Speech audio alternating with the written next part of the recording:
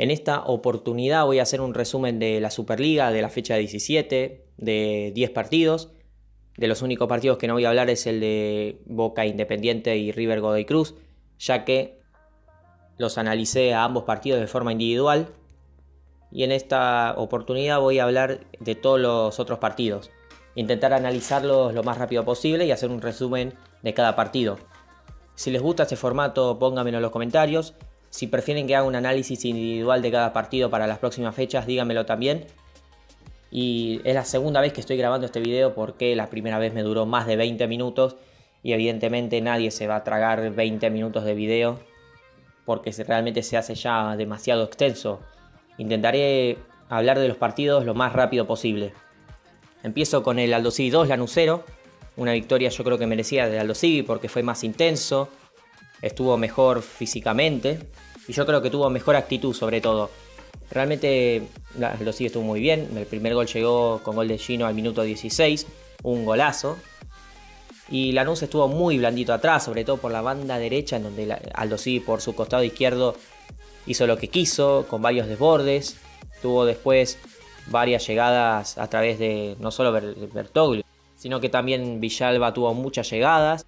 Los laterales de Aldo estuvieron en un buen nivel, Gil Romero también tuvo un buen partido, Andrada también, y lo sometió mucho a Lanús en el primer tiempo y el equipo Granate casi no pateó al arco. Ya para el segundo tiempo Lanús tuvo más la pelota, pero no generó demasiado. Tuvo una tajada muy buena Asman, tuvo un tiro libre Pasquini, un remate de, La Vega.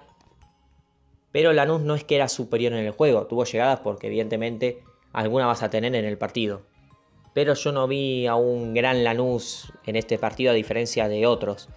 Y en la última jugada del partido Bertoglio liquidó para meter el 2 a 0. Una muy mala salida de Rossi porque realmente se lo tiene que hacer mirar Rossi. No puedes cubrir tan mal el arco siendo un arquero de primera división.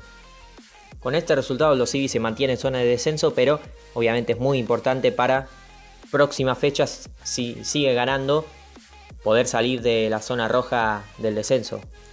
Y Lanús que evidentemente con esta derrota perdió la oportunidad de meterse primero en la Superliga. Y paso a hablar del Gimnasia 0, Vélez 0, un partido bastante parejo, con poco contenido, Vélez con la pelota, Gimnasia tratando de ir más desde lo, desde lo emocional, desde la actitud. El primer tiempo quizás Vélez lo intentó más, tuvo un par de llegadas, tuvo sobre todo una Hanson que Brown hace una tajada increíble, para mí la mejor atajada de la fecha porque era un remate muy potente que iba fuerte arriba y Brown hizo unos reflejos impresionantes. Si no vieron la tajada se las recomiendo ver porque realmente es muy impresionante. Y lo importante es que esté un buen arquero porque realmente Arias con todos los respetos, pero en su nivel muy flojo. Hizo perder a Gimnasia muchos partidos y cuando te jugás la categoría necesitas arqueros que te salven. Y también, por supuesto, tener un equipo que ayude.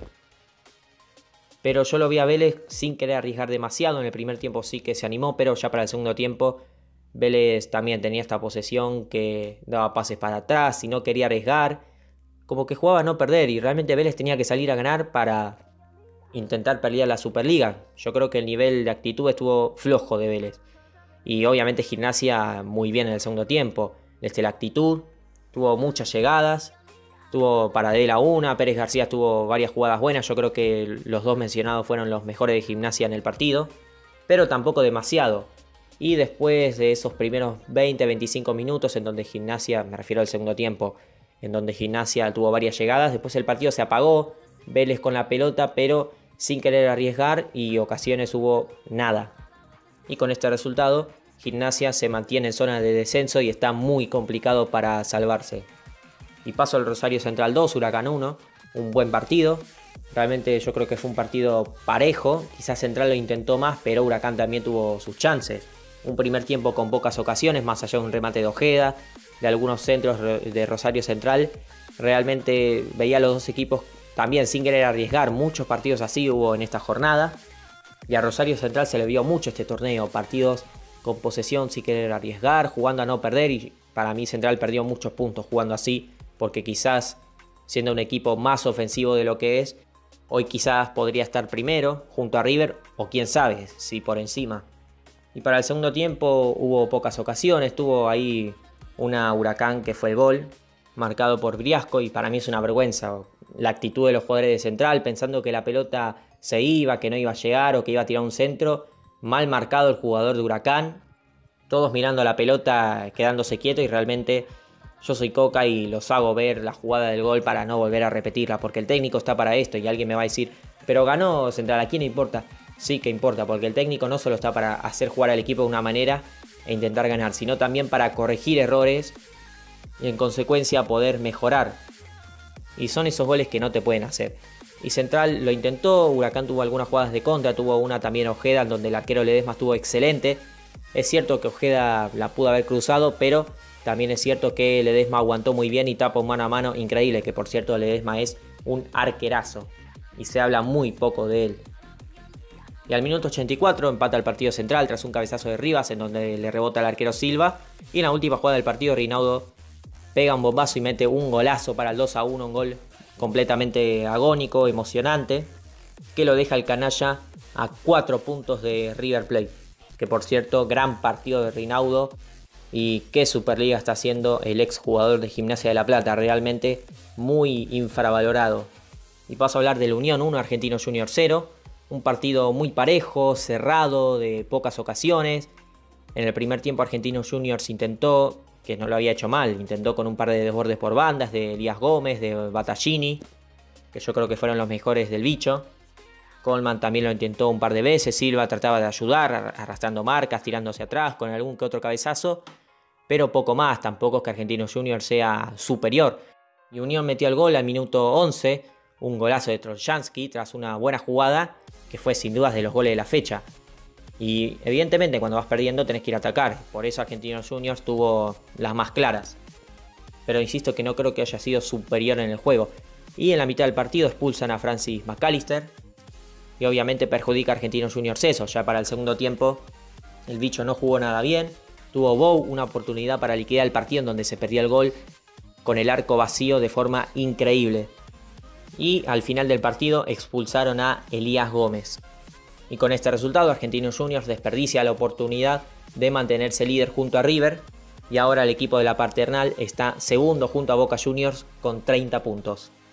Paso a hablar del Arsenal 1, el News 1, para mí de los peores partidos de la fecha porque hubo pocas ocasiones, poco fútbol. Insisto que el tema físico perjudica a todos los equipos. Pasa esto, equipos sin querer arriesgar, jugadores en baja forma física y pocas ocasiones hubo en el partido. Torrent metió un golazo al minuto 25, luego News intentó con Leal en varias ocasiones, tuvo una en donde también Zapa estuvo muy bien en un córner.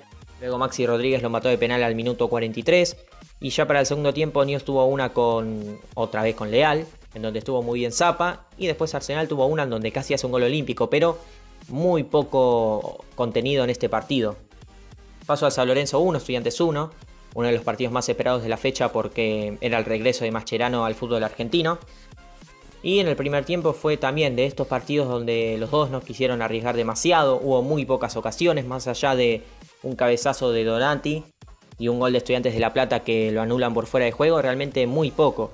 Para el segundo tiempo San Lorenzo arriesgó un poco más con la pelota, tuvo un par de llegadas con Romero, con Ramírez, y el gol de San Lorenzo viene al minuto 63 con gol de Pitón, y una gran jugada entre Ramírez y Romero, y que ya venía de antes, que fue sin dudas por la jugada uno de los mejores goles de la fecha.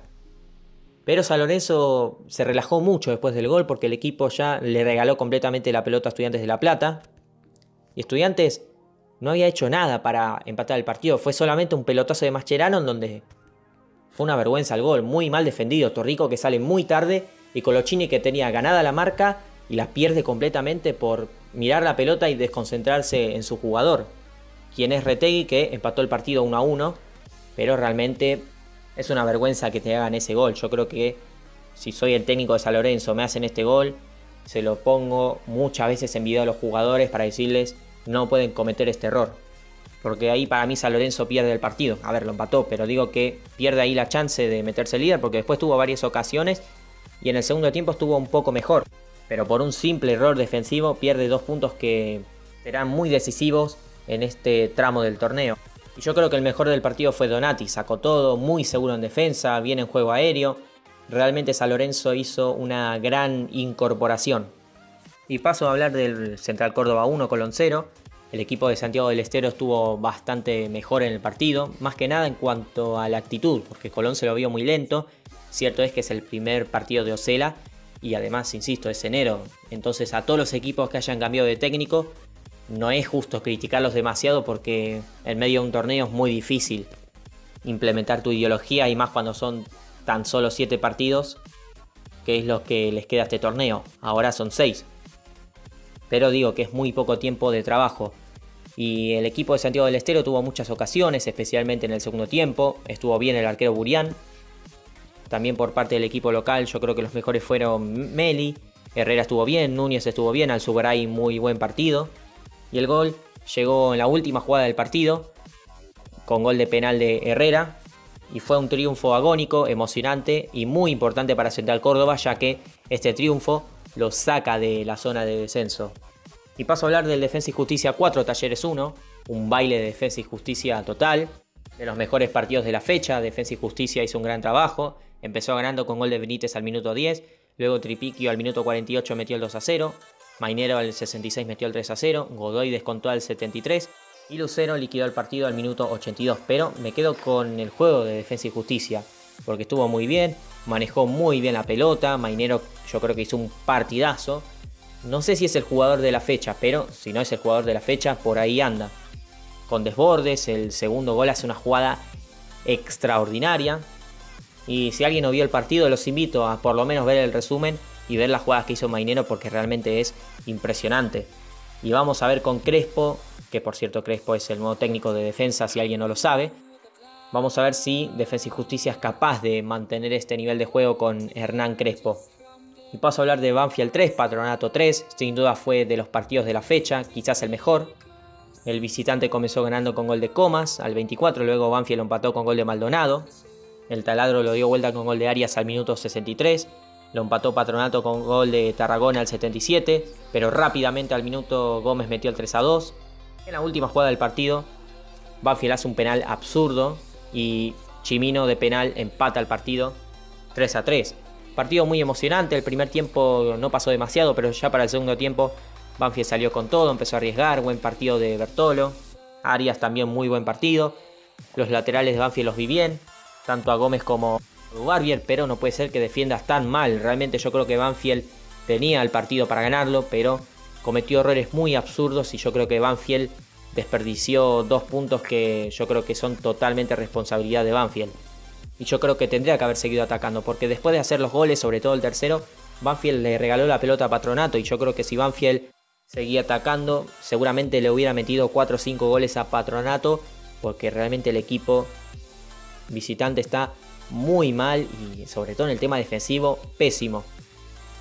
Y paso a hablar del Racing 1, Atlético Tucumán 1, un partido sin demasiado contenido, al igual que el resto del partidos, equipos que no quisieron arriesgar demasiado, un Racing que tuvo la pelota pero no hizo casi nada en el partido, gol de Mauricio Martínez en el primer tiempo al minuto 40, pero Cualquiera que vio el gol sabe que fue de mucha suerte porque hubo ahí un rebote de pelota parada y Racing casi no llegó al área.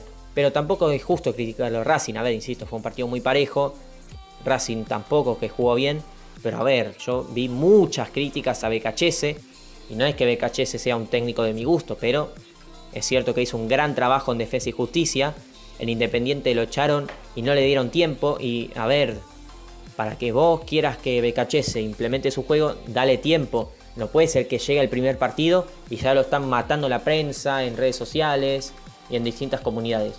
No puede ser, porque si vos lo matás, después el equipo va a ir a jugar con presión, el técnico va a tener que hacer cambios, va a tener que improvisar y van a ir mal los resultados, lo van a terminar echando y después no vas a tener proyecto. Realmente hay que respetar mucho los procesos, es muy importante en el fútbol. Ahora, algo que estoy de acuerdo es que Racing necesita extremos.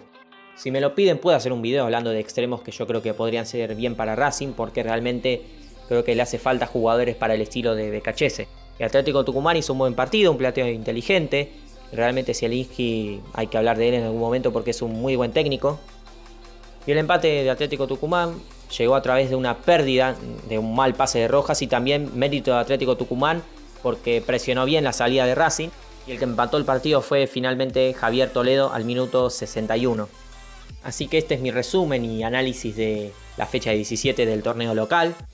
Si les parece bien este formato o si quieren que para la próxima haga un análisis individual de cada partido, escriban en los comentarios si les gustó la idea, si quieres opinar, si quieres comentar de este video. Ponelo en los comentarios y yo les mando un saludo a todos y hasta luego.